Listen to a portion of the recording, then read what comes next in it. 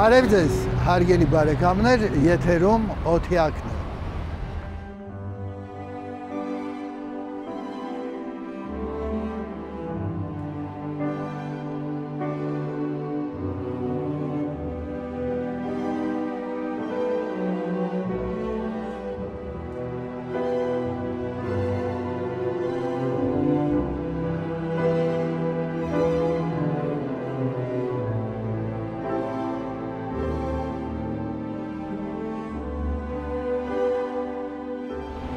Այս արձանը քաչ ծանոթ է բոլորի Ալեքսանդր Մյասնիկյանի արձանն է։ Արձանի հեղինակն է արվեստի վաստակավոր գործիչ, քանդակագործ, պետական մրցանակի դափնեկիր, Հայաստանի Հանրապետության նախագահի մրցանակի դափնեկիր Արա Շիրազը։ Արա Շիրազը ավարտել է Երևանի Գեղարվեստական ինստիտուտի քանդակի բաժինը նրա ուսուցիչներն են եղել Արա Սարգսյանը, Սուրեն Նազարյանը, Երվանդ Քոչարը։ Մոտ 1 տասնամյակ Արա Շիրազը եղել է Հայաստանի նկարիչների միության նախագահը։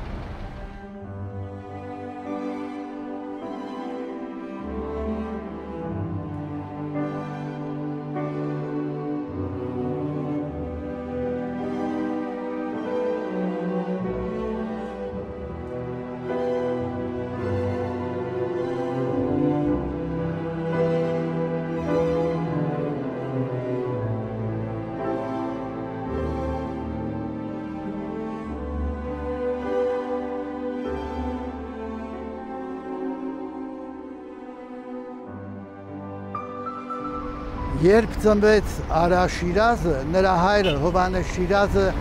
ծննդյան վկայականի վրա գրեց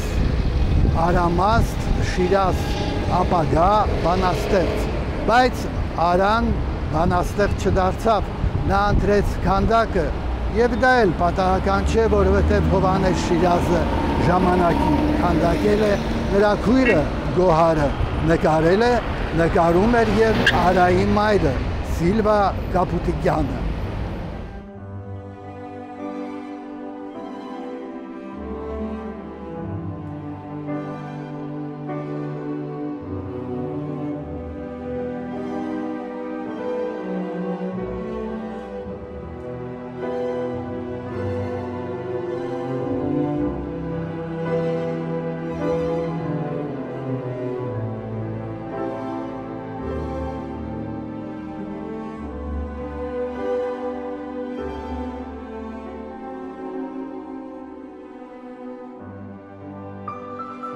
յուրաքանչյուր մարդ իր կյանքում ունենում է ուսուցիչ։ Եվ հատկապես արվեստագետի բախտը բերում է, երբ նրա ուսուցիչները լինում են տաղանդավոր մարդիկ։ Իսկ ես գիտեմ, որ քո ուսուցիչները եղել են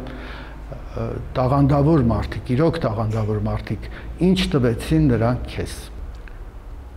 Ժամանակի փախուստով, ժամանակի կորուստով ուսուցիչ հասկացողությունը ընդգրկվում է որպես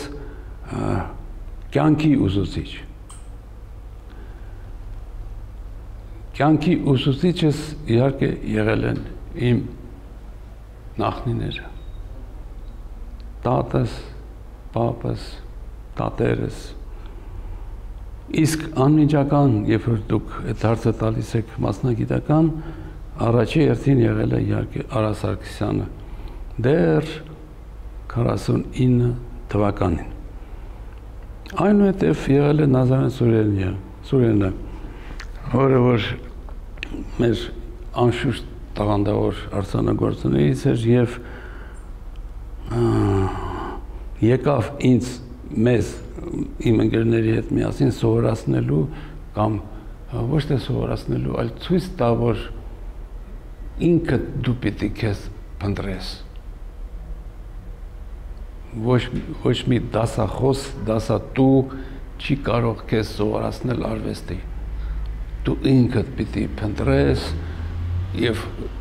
ներհայացք ունենաս դեպի հոգիդ։ Դրանով ես շատ իրանց շնորհակալ եմ։ եւ առաջին ուսուցիչներս նրանք են։ Իսկ մի ուրիշ ուսուցիչ էլ ունեցանք, դա իմ բախտավորությունն է։ Դա մայստրո Քոչարն է։ Մեր մեծագույն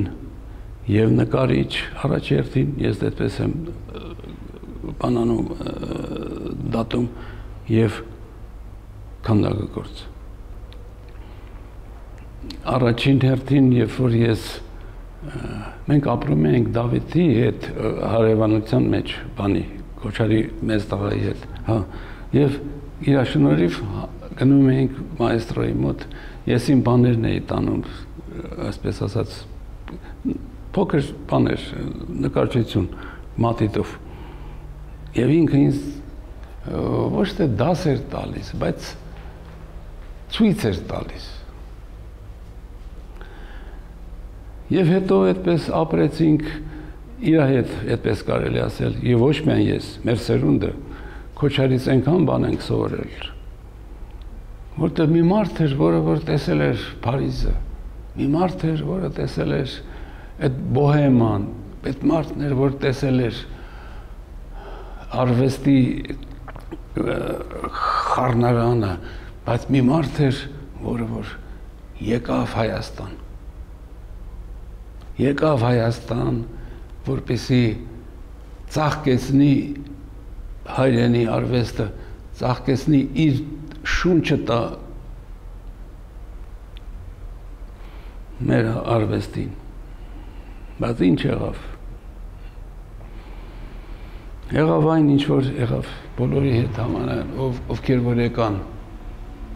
աշխարից, աշխարհի հերոներից եկան Հայաստան, որպեսի իրանց ուժը, իրանց հասկացողությունը, իրանց մասնագիտության հեքիաթը տան այս երկրին էլի։ Մեր խփված երկրին, մեր վիրավոր երկրին։ Անայք ինձ շատ ես զարմացա, երբ իմացա, որ տարիներ շարունակ 6 տարի կոնկրետ դու եղել ես նկարիչների միության նախագահ, որտեղ ես քեզ գիտեմ որպես շատ ազատ մարդ, որը ոչ մի գաղապարի մեջ չինովնիկական չի մտնում։ Ինչպես էր քեզ հաջողվում այս այդ պաշտոնը վարել, հա, այսպես ասեմ։ Մենք միասին մեր մեր մեր այսպես ասած համախոհներով մտածեցինք ախպեր մենք այդքան ուժ չունենք, արա Ինչ է պատահել։ Եթե մենք այստեղ ընդեղ խոսում ենք, ինչի չմիանանք ու ասենք մեր խոսքը էլի։ Եվ մեզ հաջողեց 87 թվականին այդ խոսքը անել, այսինքն այդ գաղափարը իրագործել, բայց այդ ժամանակը շատ ծանր ժամանակ էր։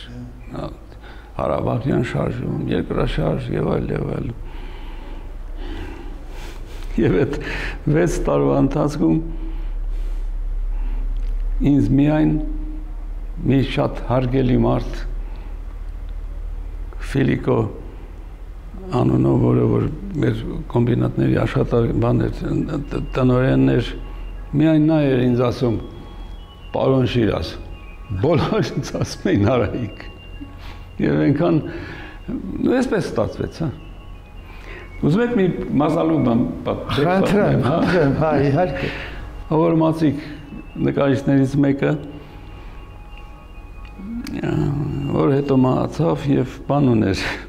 ինչ որ բաներ ուներ որը որ մենք ընդունում էինք նկարիչը մի օր ընդունարանում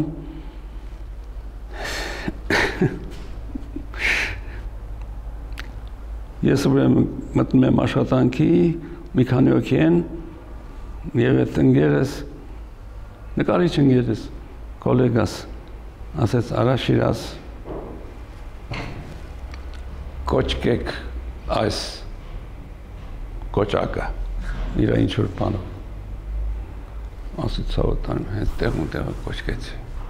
ինքն էլ ասեց շնորհակալություն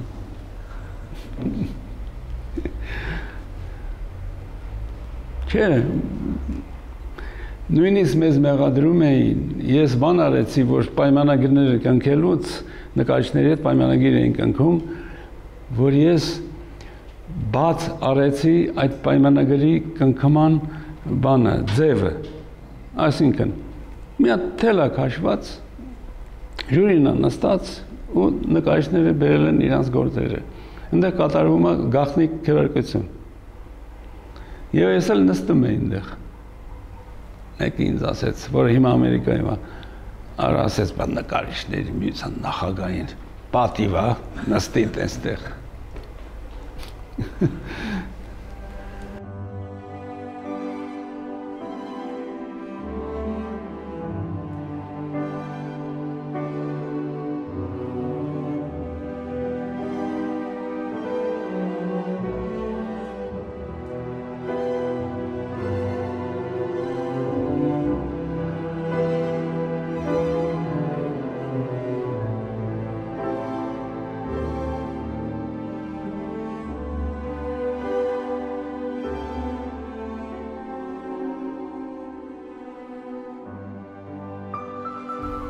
ավանգարդը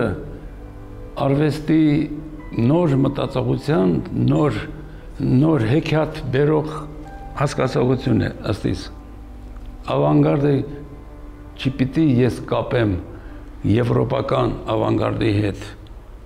Մենք ունենք հայկական ավանգարդ։ Այսինքն ցանկացած նորամուծություն, ցանկացած ավանգարդ դա արյան նոր ներարկում է նոր նոր հասկացողություն է, որը որ անհրաժեշտ է ցանկացած ժողովրդի։ Եթե որևէ ժողովուրդ ավանգարդ չունեցավ, ես համարում եմ այդ ժողովուրդը արվեստի իմաստով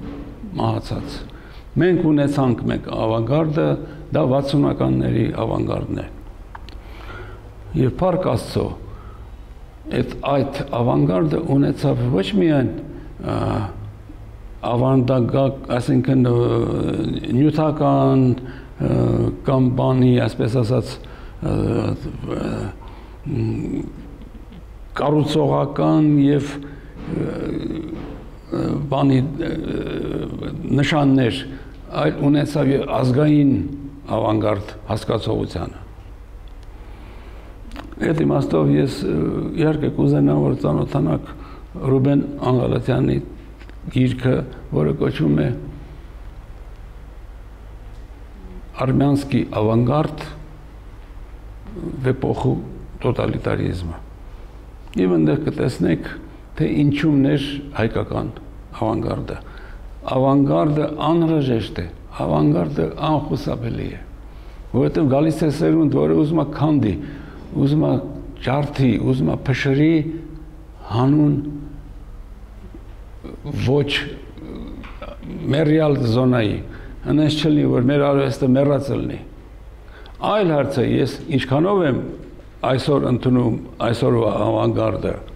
բայց ես իրենց ողջունում եմ ես գիտեմ եւ հաճախ է պատահում որ յուրաքանչյուր մարդու կյանքում լինում է մի հանդիպում կամ մի պահ, որը բախտորոշ է դառնում նրա համար։ Արդյոք քո կյանքում եղել է նման մի հանդիպում, նման մի պահ։ Իհարկե։ Բայց դա եղել է ոչ թե անձնական, անձնական, այսպես ասած, դրսևորումով, այլ գրողական գրականության։ Դա Վիլյամ Սարոյանն։ Անշուշտ Նա մեր մեծագույն հեքիաթն է եւ մեր մեծագույն անհասկանալի դրսևորումը, որը աշխարհին ասեց ուր որ ըլլաս պորա Հայաստան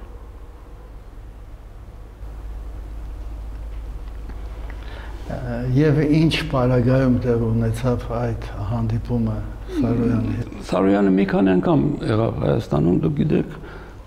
մի անգամ էլ եղավ եւ մամաս Սիլվա Կապուտիկյանը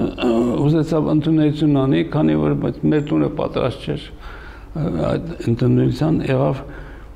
մեծահարգո Վերա Հակոբյանի տանը։ Այնտեղ այնտեղ եմ հանդիպել։ Եվ իր պահվածքը իր չասեմ, մարդկային բանը, այսպես ասած, էությունը ես տեղ զգացի։ Ինչքան անկախ մարդ էր։ Շատ անկախ մարդ էր։ Նա չեր ընդունում շողոքորթում։ Չեր չեր ընդունում քաղցր խոսքեր ասված իրեն Եվ միտեղ ասել է,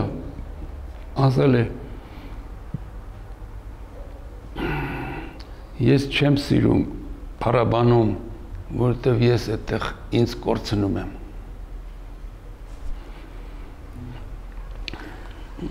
Մեծ մեծ հայ եւ մեզ պիտի օգնի ապրել դարեդար։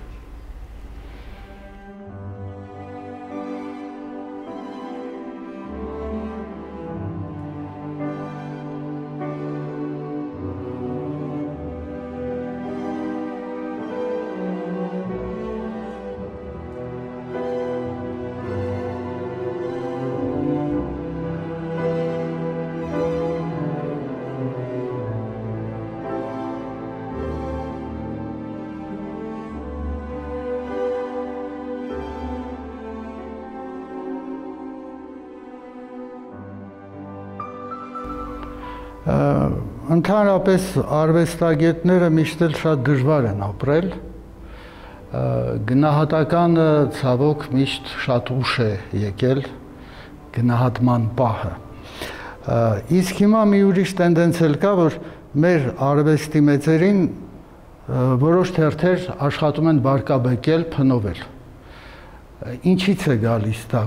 Ինձ թվում է դա մութ քաղաքականություն է ուղղակի։ Ինձ թվում է էլի մութ ճոմն է մութ քաղաքականություն է, որը որ երևի թե գոյություն պիտի ունենա եղբեր, բայց այդ մութ քաղաքականության դեմ մենք էլ պետք է պայքարենք, չէ՞։ Պիտի խոսենք, պիտի ասենք, պիտի մի խոսքով ինձ թվում է, որ մեր այսպես կոչված ազգային իդեոլոգիան, ազգային գաղափարախոսությունը դեռ շատ թույլ է։ Մեծագույն արվեստագետներ ապրել են ամբողջ կյանքում չգնահատվելով։ Դա ինչ է նշանակում։ Նշանակում է, որ հասարակությունը դեռ չի հասկացել դրանց էականը, էական նշանակությունը։ Ես ուզում եմ այս խոսքը ասեմ եւ դուք թողնեք անպայման։ Հրանտ Մաթեոսյանի տուն թանգարանը չի կառուցվում, չնայած որոշում ընդունվել է ընդունվել է։ Ինչու։ Մեծագույն գրող էր, չէ։ Եվ գրող է։ Եվ մարդիկ կան, որ ասում են տուն թանգարանը բանը 50 տարի, չգիտեմ, 100 տարի հետո պիտի լինի։ Այսինքն իրական արժեքը այդ պոետի կամ այդ գրողի կամ այդ գիտնականի հետո պիտի երևա։ Ով է, ով է, ոնց որ ասած, լիազոր, որ չհասկանա տուն թանգարանը դա դբրոց է դա դբրոց է դբրոց է մեր ծերունդի համար դբրոց է մեր երեխեքի համար մեր ուսանողների համար թող գան տեսնեն որ այս մարդը ապրել է այս շնչով այս ոգով ուրեմն ես համարում եմ Հրանտ Մաթեոսյանի տուն թանգարանը անպայման պիտի կառուցվի նախքան քանդակը ստեղծելը գնում է մեծ աշխատանք, էսքիզներ, պրպտումներ, հետո արդեն գալիս է զուտ այդ գործնական պահը, երբ պետք է դառնա էություն, դառնա քանդակ, եւ տեղադրվում է որևէ փողոցում, որևէ պուրակում, այ ինչպիսին է լինում քո վերաբերմունքը այն արդյունքին, որը արդեն կանգնած է տեղադրված է։ Ես ուրախանում եմ ցանկացած արցանին, որը քաղաքում դրվում է։ Անկախ նրանից, թե իմ դուրը գալիս է թե չէ։ Եվ դեմ եմ Ամերիկայից եկող կամ Ամերիկայից խոսողներին, որոնք ասում են, որ պիտի գան Սպենդերյանի արցանը, Թումանյանյանը հանեմ ու ես իմ արցանները դնեմ։ Դա ոչ թե բարբարոսություն է։ Դա այն մարդու կամ այն արսանակորցի խոսքն է կամ կարծիքն է, որը որ չգիտի ինչա կատարվում այս այս ժողովրդի հոգում։ Այս ժողովուրդը այս ժողովուրդը ուզում է իր մեծերին տեսնել մեծերին տեսնել շոշափելի մեծերին հիշել շոշափելի ինչպես կարելի է այդպես խոսքեր ասել ես չեմ չեմ չեմ ընդունում չեմ հասկանում ավելի ճիշտ ես չեմ կարող այսպես ասած ռադիկալ կարծիք ունենալ որովհետև ես գտնում եմ որ կյանքի զարգացմանը չես կարող պայքարել կարևորը կարևորը բանն է, այսպես ասած, հենց որ մենք խոսում ենք, որ չեն կարող պայքարել, հենց դրանով դրանով է պայմանավորված, որ մենք դեռ մտածում ենք ինչ պիտի անենք։ Կան կան ֆինանսական հեքիաթներ, որը ինձ համար օրինակ անհասկանալի են։ Բայց կարողվում է Վատ չի, ես գտնում եմ որ վատ չի։ Չէ, վատ չի, ոչ թե իր ձևով բանով, վատ չի, որ կարուսվում է էլի։ Հա, բնական։ Ասենքն ես իզորու չեմ պայքարելու։ Ինձ ոչ մեկ այս կան ժամանակ չի կանչել քաղաքային ինչ որ խորհրդի մասնակցություն, որ ես ընդեղ իմ խոսքը ասեմ։ Այ Արա Շիրազը որպես քաղաքացի, որպես հայ մարդ ինչը կտրականապես չի ընդունում եւ ինչն է ընդունում չեմ ընդունում կզարմանաս շատ ավելի մի པարս մարդկային գից գորոզությունը չեմ սիրում արա մարդը իրավունք ունի գորոզ լինի որովհետեւ ինքը գիտի որ ինքը ինքը ստեղծված է ստեղծված է մարդ լինելու համար ոչ թե գորոզությունը օգտագործել մեկը մյուսի դեմ չգիտես ինչ բաներով ինչքան པարզ մարդ այնքան հեքիաթ մարդ